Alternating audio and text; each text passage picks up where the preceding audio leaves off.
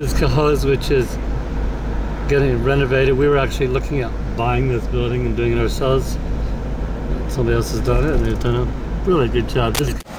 Oh, it's not that cold out there. It's only about 17 centigrade below zero today.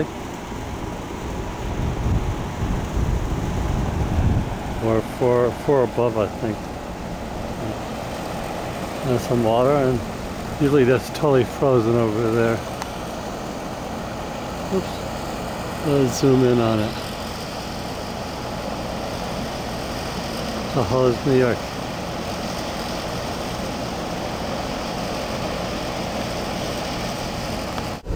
Right, it's completely undeveloped. Yeah. We should come in here and yeah, put up Yeah. restaurants and Oh, this is hotels. brown, little brownstone. Gorgeous little brownstones that you pay. And That's the Erie Canal. We used to be there.